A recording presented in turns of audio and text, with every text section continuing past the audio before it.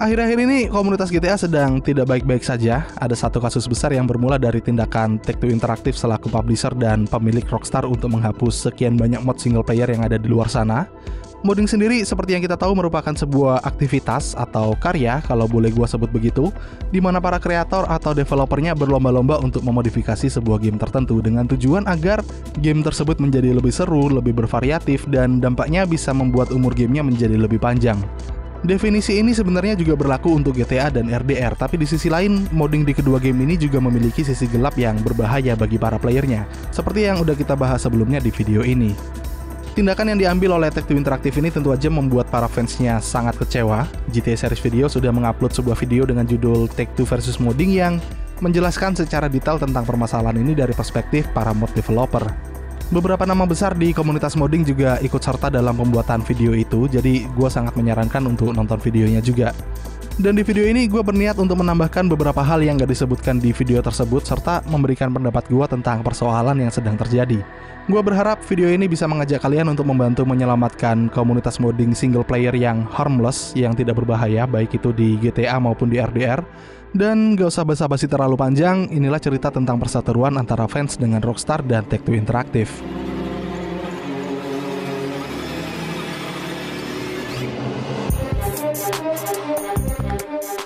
Untuk memulai pembahasan ini, ada baiknya kalau gue sedikit menceritakan tentang bagaimana awal mula permasalahan ini terjadi, paling nggak apa yang menjadi trigger utama di balik wacana ini, seperti yang kita tahu, belakangan ini muncul banyak sekali rumor tentang remaster GTA Trilogy dan semakin lama rumornya semakin kuat meskipun belum diumumkan secara resmi oleh Rockstar maupun Take-Two Interactive. Dan seiring dengan berkembangnya rumor tersebut, ada banyak sekali mod buatan fans yang di take down di MCA oleh Take-Two, terutama mod-mod yang berkaitan dengan GTA 3, GTA Vice City, dan juga GTA San Andreas. Video yang dipublish di channel GTA Series Videos tadi merupakan suatu bentuk keluh kesah komunitas GTA, baik itu dari komunitas modding maupun dari fans yang sudah mengikuti jejak franchise ini sejak lama. Ada banyak sekali poin bagus yang mereka sampaikan tentang keputusan Take-Two untuk menghapus mod-mod tersebut. Satu poin kuat dari video tersebut yang gua sangat setuju adalah aksi penghapusan mod-mod oleh Take-Two Interactive itu sangat unnecessary atau tidak perlu dilakukan seharusnya. Kebanyakan mod yang sudah di take down oleh Take-Two Interactive ini hanyalah mod untuk single player dan semata-mata dibuat untuk meningkatkan kualitas gameplay GTA series. Gak ada yang benar-benar berbahaya bagi para player, bagi Rockstar maupun bagi Take-Two Interactive sendiri. Yang ada, mod-mod tersebut justru membantu mempromosikan dan meningkatkan experience di GTA, yang artinya secara nggak langsung bisa ikut serta meningkatkan angka penjualan GTA. Kita ambil aja contoh 5M, komunitas modding terbesar di GTA yang jumlah playernya itu sempat melampaui jumlah player yang memainkan GTA Online. Nggak bisa dipungkiri juga kalau 5M punya peran besar dalam penjualan GTA yang sekarang udah menembus angka 150 juta kopi. Dan kalau ditanya siapakah orang-orang yang berjasa di balik lahirnya 5M, jawabannya ya jelas para komunitas modding. Tapi apakah 5M benar-benar akan selalu aman dari DMCA takedown? Sayangnya, gue nggak punya jawaban atas pertanyaan ini. 5M sendiri sempat down beberapa waktu yang lalu, tapi untungnya mereka udah mengklarifikasi bahwa downnya tadi bukan karena Take-Two, melainkan karena jumlah user yang semakin bertambah. Jangan lupakan juga cerita tentang bagaimana seorang modder berhasil mempercepat loading screen GTA Online, suatu permasalahan bertahun-tahun yang bahkan tidak bisa diselesaikan oleh para developernya Rockstar. Sebuah bukti bahwa bagaimanapun juga, Rockstar dan Take-Two tetap membutuhkan kehadiran komunitas modding. Hanya saja mereka menargetkan komunitas yang salah komunitas yang seharusnya didukung justru dihukum habis-habisan dalam waktu yang singkat, sedangkan komunitas modding yang seharusnya dihukum justru diberikan ruang gerak yang sangat bertentangan dengan kebijakan tertulis Rockstar.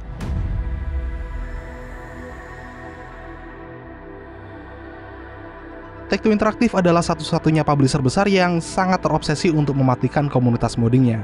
Publisher lain yang notabene memiliki reputasi lebih buruk pun masih bisa menghargai komunitas moddingnya, karena ya, seperti yang gua bilang tadi, nggak bisa dipungkiri bahwa mod itu bisa memberikan experience baru dan memperpanjang umur suatu game. Kita ambil aja contoh Bethesda. Kenapa Skyrim dan Fallout masih ada yang mainin sampai sekarang? Ya karena mereka mensupport dan membiarkan para modernya berkreasi. Bahkan EA pun masih membiarkan sebuah mod dewasa untuk The Sims bernama Wicked Whims, sebuah mod yang sangat vulgar, yang sangat nggak gua rekomendasikan buat kalian yang masih di bawah umur. Mereka fine-fine aja dengan mod semacam ini, berbeda dengan Take-Two karena mereka terlalu terobsesi untuk mematikan para modder. Masih ingatkah kalian dengan orang ini? Dia dikenal dengan nama Gaming Damp, seorang anggota komunitas modding di Red Dead Redemption. Ceritanya di tahun 2019 yang lalu, dia berencana untuk membuat mod berjudul Red Dead Redemption Enhancement Project dan inti dari mod ini adalah supaya RDR1 bisa dimainkan di PC via emulator Xbox 360. Take-Two pun bereaksi gila-gilaan di sini. Pertama, mereka menyewa private investigator dan langsung mengintegrasi gaming dam dengan teknik yang digunakan oleh para penyelidik kepolisian. Kedua, mereka juga menginterogasi ibunya gaming dam yang sama sekali nggak berkaitan dengan proyeknya. Dan yang ketiga, mereka mengeluarkan lawsuit sebesar 500 ribu dolar hanya karena Gaming Dam berniat untuk membuat dalam tanda kutip portingan di PC supaya kita bisa mainin RDR1 di PC.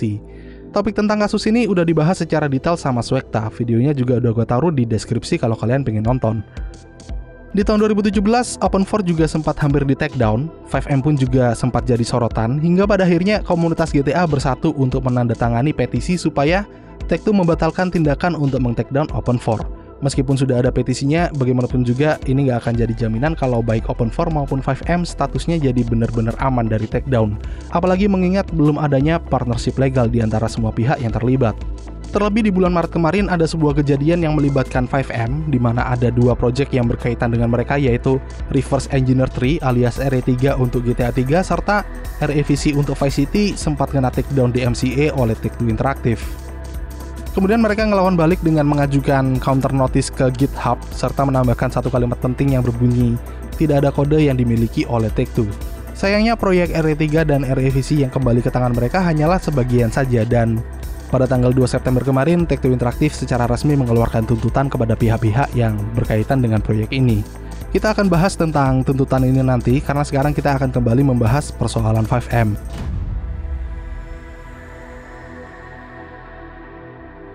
Setelah 5M dan Open4 serta sekian banyak mod lainnya sempat bermasalah dengan kebijakan moddingnya Rockstar di tahun 2015, Rockstar akhirnya memberikan dalam tanda kutip lampu hijau saat itu dan mengungkapkan bahwa setelah berdiskusi secara privat, Rockstar akhirnya mengizinkan aktivitas modding mereka. Pada diskusinya tersebut, para modder dan Rockstar membuat kesepakatan serta peraturan untuk membatasi apa-apa saja yang boleh dilakukan oleh para modder. Pada poin pertama dan kedua yang bisa kita baca di sini, bisa disimpulkan bahwa segala bentuk modding untuk multiplayer alias GTA Online di waktu itu benar-benar dilarang oleh Rockstar. Lalu pada poin ketiga, mereka juga menegaskan tentang pelarangan penggunaan IP atau intellectual property dari suatu judul game pada project modnya. Intinya porting maupun importing aset dari game lama ke game lain atau platform lain itu dilarang di sini. Ketiga poin ini ditulis dan dipublish dalam sebuah artikel pada tahun 2017 setelah mereka berseteru dengan fans akibat keputusan mereka untuk meng-takedown Open4.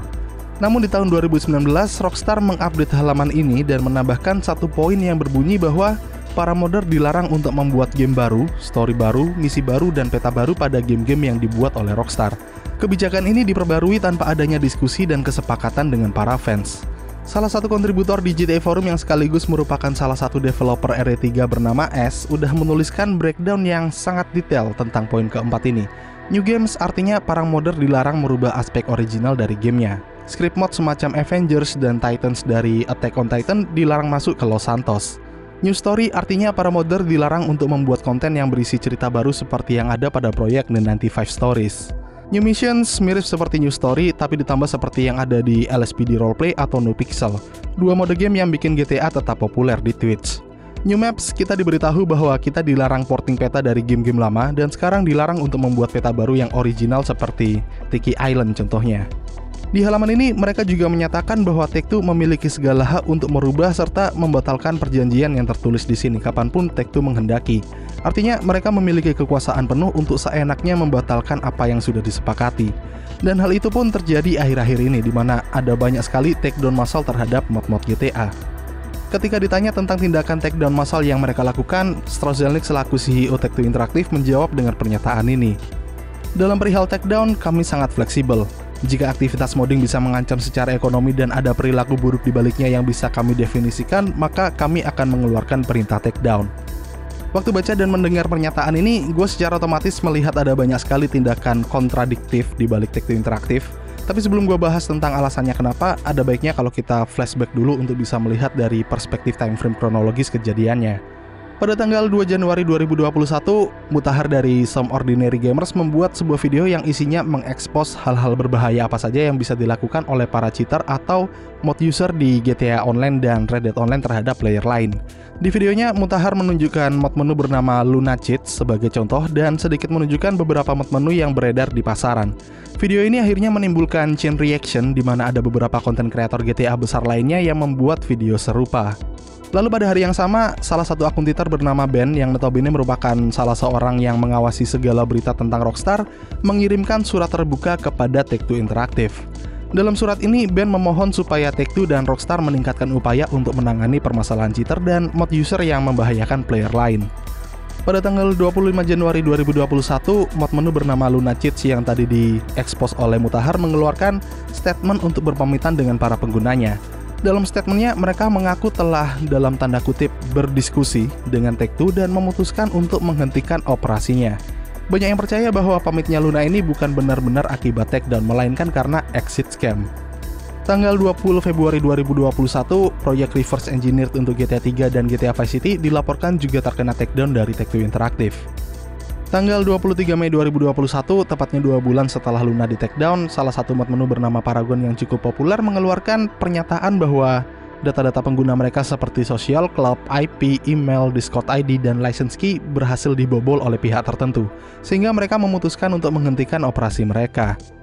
Setelah mengajukan counter notice di MCA di GitHub, tepatnya pada tanggal 6 Juni 2021, sebagian project RE3 dan RE City ini akhirnya bisa kembali ke developer yang berkaitan, tepatnya pada tanggal 24 Juni 2021. Awal Juli 2021, satu persatu mod single player untuk GTA series mulai di takedown oleh Take-Two Interactive.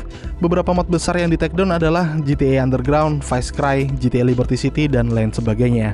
Tanggal 17 Juli 2021, salah seorang kontributor bernama S memposting detail kronologi di balik takedown yang dilakukan oleh Take-Two di GTA Forums.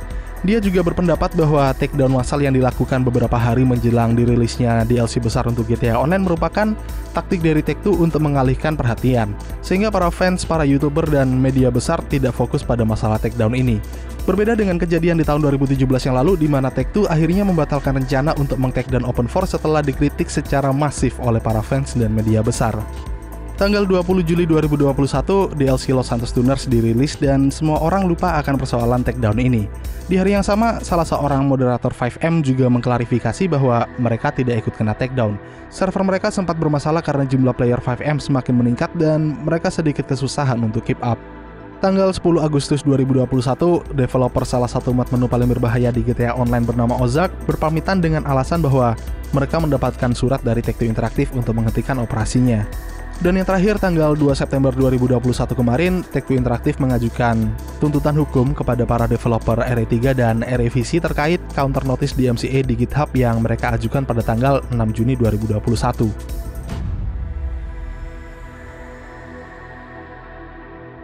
Poin yang berusaha gue sampaikan di sini adalah gue menemukan adanya kejanggalan yang sama di balik takedownnya mod menu yang statusnya berbahaya untuk GTA Online, terutama di tahun 2021 ini. Untuk memahami maksud gue, ada baiknya kalau kita bahas soal project yang di takedown yang nggak berkaitan sama GTA Online terlebih dahulu. Pertama, kalian pasti masih ingat sama Gaming Dam yang tadi kita bahas, orang yang sampai diinterogasi sampai ibunya ditelepon dan dituntut hingga 500 ribu dolar hanya karena dia sedang mengembangkan project supaya RDR1 bisa dimainkan di PC. Di videonya Swekta yang membahas tentang kasus ini, mereka bisa menunjukkan bukti bahwa Take-Two benar-benar meminta dia untuk membatalkan projectnya. Mereka juga menunjukkan berkas tuntutan dari Take-Two yang juga tertulis nama aslinya Gaming Dam. Lalu yang kedua, di takedownnya RE3 dan REVC ada jejak digital di GitHub yang menunjukkan proses takedown dari Take-Two Interactive. Sekali lagi ada bukti di sini dan saat dituntut kita bisa membaca berkas tuntutan dari Take-Two yang udah gua taruh di deskripsi di bawah. Tapi di sisi lain, ketiga developer mod menu GTA Online yang tadi kita sebut yaitu Luna, Paragon, dan Ozark sama sekali nggak bisa memberikan buktinya. Mereka hanya nulis surat bagi para konsumennya, ngaku kalau mereka udah diskusi sama Take-Two dan terpaksa menghentikan operasinya. Dari yang gue lihat di sini, mereka mungkin gak bener-bener di take down. Menurut gue mereka cuman exit scam aja. Mungkin karena Rockstar secara konstan udah mengupdate anti-cheat di GTA Online dan mereka udah gak sanggup untuk keep up. Udah pusing sama codingnya Rockstar, terlebih lagi untuk Luna yang udah dibantai habis-habisan sama Mutahar. Masuk akal nggak sih kalau mereka para developer mod menu yang berhasil ngejual modnya dengan harga yang mahal dengan range harga antara 15 dolar sampai 120 dolar itu cuman ngasih surat pamitan aja kepada para konsumennya. Sedangkan orang yang nggak nyari profit sama sekali dari modnya berani mempublikasikan berkas tuntutan dari Take-Two Interactive. Satu hal tambahan yang bikin gua makin curiga adalah di videonya Mutahar ini dia nunjukin beberapa mod menu berbayar. Tapi kenapa dalam kurun waktu 8 bulan hanya ada dua mod menu yang di take down plus satu mod menu yang statusnya mundur karena udah dibobol.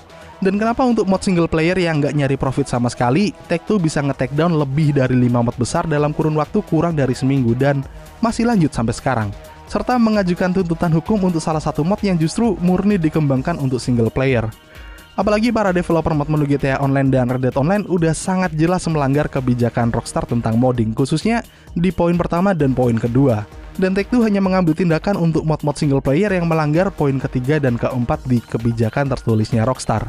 Jujur aja gue masih gagal untuk memahami alasan dibalik selektivitasnya Take-Two Interactive dan kejadian akhir-akhir ini pada akhirnya mengingatkan gue pada bagian terdalam dari icebergnya GTA.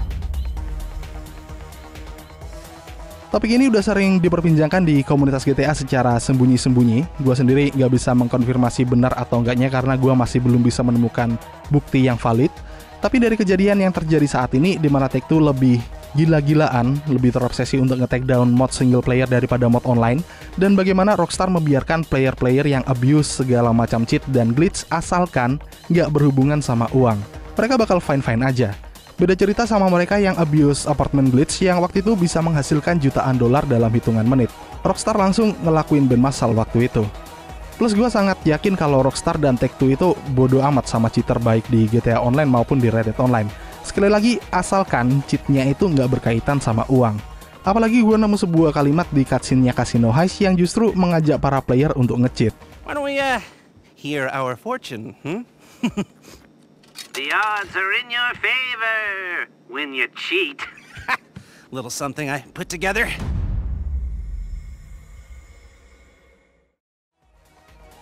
Setelah baca berkas tuntutan yang diajukan oleh Take-Two kepada para developer RE3 dan revisi dengan bahasa Inggris gua yang cukup terbatas, akhirnya gue bisa menarik beberapa kesimpulan tentang alasan kenapa Take-Two mengajukan tuntutannya ini. Pertama, Take-Two jelas nggak bisa menerima kehadiran reverse engineer untuk GTA 3 dan GTA Vice City dengan alasan yang beberapa kali gue sebut di poin ketiga dari kebijakan tertulisnya Rockstar terkait dengan modding. Di sini Take-Two berulang kali menyatakan bahwa kode-kode GTA 3 dan GTA Vice City yang diporting ke platform lain seperti Nintendo Switch atau PS Vita contohnya dianggap sebagai suatu hal yang sangat merugikan Take-Two Interactive apalagi mereka belum melakukan porting kedua game itu di kedua platform tersebut. Buat kalian yang belum tahu, reverse engineer yang ada di GTA 3 dan GTA Vice City itu kebanyakan berisi perbaikan atas hal-hal yang dirasa mengganggu di portingannya. Sebagai contoh, kalau kalian pernah main GTA 3, GTA Vice City, GTA San Andreas, atau bahkan GTA 4 di Steam, kalian pasti pernah ngerasain bug-bug yang mengganggu. Bahkan GTA 4 di Steam pun nggak support modding sama sekali. Dan di sinilah reverse engineer bekerja, di mana mereka berusaha membuat game-game tersebut menjadi playable dan nyaman untuk dimainkan.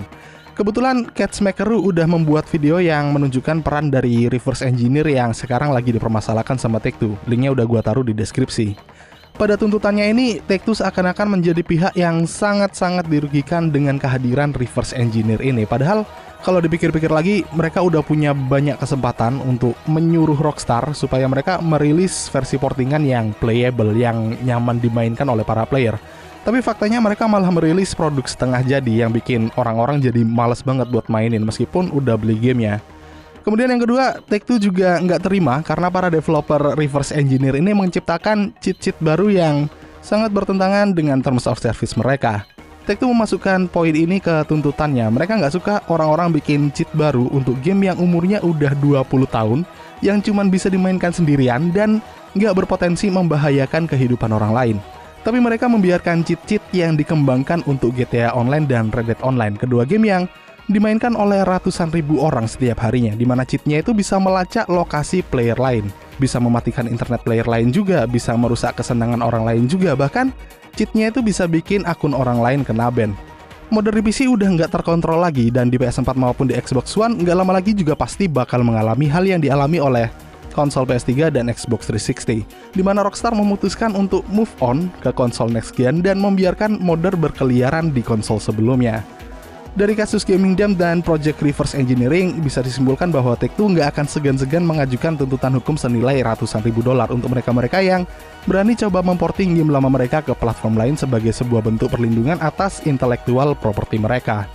Tapi selama mereka-mereka cuma bikin cheat untuk game online yang udah jelas-jelas melanggar kebijakan tertulis dan terms of service-nya Take-Two, mereka cuma akan berdiskusi aja sama pihak-pihak tersebut. Yang penting mereka nggak ngeporting. Semua detail tentang tuntutannya ini bisa kalian baca sendiri di berkasnya yang juga udah gue taruh di deskripsi di bawah.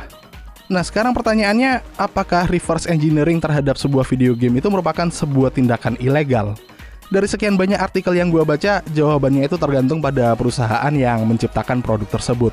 Ada beberapa perusahaan yang memperbolehkan, ada yang mengizinkan dalam bentuk fair use, dan ada pula yang seperti Take-Two yang memasukkan hal ini ke dalam copyrighted work. Berdasarkan IULA-nya Take-Two, reverse engineering itu jelas dilarang, udah tertulis jelas-jelas di sini. Tapi bagaimanapun juga tindakan mereka dalam menggunakan hak secara hukum untuk menuntut mereka-mereka yang berkreasi itu jelas sangat disayangkan.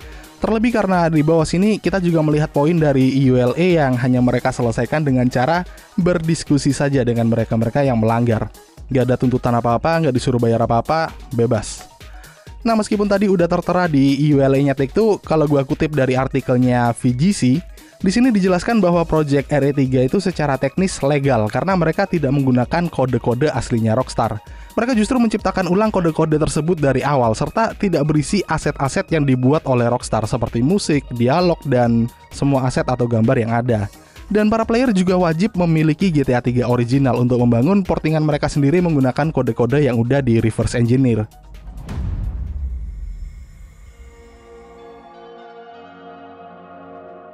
Kita nggak tahu sejauh mana Take-Two bakal mematikan komunitas modding single player. Sejauh ini yang di takedown emang cuma sekedar mod peta atau mod-mod yang ngeporting game-game lama ke game lain. Apalagi mereka dengan seenak jidat bisa merubah kebijakan moddingnya tanpa adanya kesepakatan maupun pengumuman kepada para fansnya. Jujur aja gue khawatir kalau mereka bakal bener-bener mematikan secara total aktivitas modding untuk GTA dan RDR. Dan kalau ini beneran terjadi, dampaknya pasti bakal sangat buruk dari perspektif seorang konten kreator yang udah mendedikasikan waktunya untuk mempromosikan produk mereka, katakanlah misalnya mod menu dan lain-lainnya juga jadi korban, artinya konten kreator yang pakai mod semacam ini pasti bakal kesusahan untuk bikin konten bongkar misteri tentang GTA katakanlah. Dan katakanlah mod-mod semacam Upin Ipin, Iron Man, Ultraman dan sebagainya juga di take down, artinya konten kreator lain yang menggunakan mod semacam ini juga bakal kena dampak. Katakanlah juga 5M ikut kena takedown di MCA. Bayangkan berapa banyak konten kreator dan fans yang bakal marah besar sama Take-Two. Dan ini bukanlah hal yang mustahil mengingat Take-Two udah menunjukkan sisi kapitalisnya yang sangat serakah plus sisi opresifnya terhadap komunitas modding. Seakan-akan mereka ingin mematikan fanbase Rockstar dan komunitas modding semata-mata hanya untuk melindungi intelektual properti mereka. Oke lah kalau mereka berusaha untuk menghindari kejadian macam hard coffee yang bikin mereka rugi sampai 20 juta dolar, tapi mod-mod yang mereka take down ini bukanlah mod yang mengarah ke arah sana. Yang mereka take down bahkan gak ada yang mengarah ke arah mod Wicked Wins-nya The Sims contohnya. Yang di take down justru malah mod-mod harmless yang murni dikembangkan untuk menambah variasi gameplay di GTA dan RDR series. Lagi pula udah kelihatan jelas bahwa Take-Two Interactive itu nggak mampu memerintah Rockstar untuk membuat portingan yang bisa memuaskan para konsumen. Kita lihat aja dari trailernya GTA 5 versi Expanded and Enhanced Edition yang benar-benar sangat mengecewakan sekali. Strozelnik pernah bilang bahwa Rockstar nggak akan sekedar melakukan porting simple, tapi dari fakta yang kita lihat dari trailernya, portingan GTA 5 untuk PS5 dan Xbox Series S itu justru kelihatan sangat-sangat simple portingan yang diberikan oleh para modder justru masih jauh lebih menjanjikan daripada apa yang disediakan oleh Rockstar. Dari sini, kalau emang rumor remaster GTA Trilogy itu benar adanya dan benar-benar akan jadi fakta, gue malah jadi sangat ragu kalau versi remasternya nanti bakal benar-benar ngasih sesuatu yang baru. Paling nanti jadinya bakal kayak Mafia series, di mana remake yang benar-benar remake itu cuman Mafia satu aja. Jadi jangan kaget kalau yang di remake atau di remaster secara serius sama Rockstar nanti itu cuman GTA San Andreas saja dan dua GTA yang lainnya itu cuma dikasih portingan simple. Karena dari kasus ini gue pribadi udah sangat kecewa, sangat marah dan sudah sangat kehilangan kepercayaan terhadap Rockstar dan Take-Two Interactive yang segala operasinya itu selalu berkutat seputar uang. Dan sebelum gue pamit, gue mau minta maaf dulu kalau misalnya video ini terdengar seperti membesar-besarkan masalah. Tapi dari apa yang gue lihat, ini adalah masalah besar yang nggak boleh dikecil-kecilkan. Semoga kalian paham dengan apa yang gue maksud di sini. Gue Dime pamit duluan. Makasih banyak buat kalian yang udah nonton sampai habis. Jangan lupa kasih like kalau kalian suka videonya. Jangan lupa jaga kesehatan fisik dan mental juga. Bye bye and have a nice day.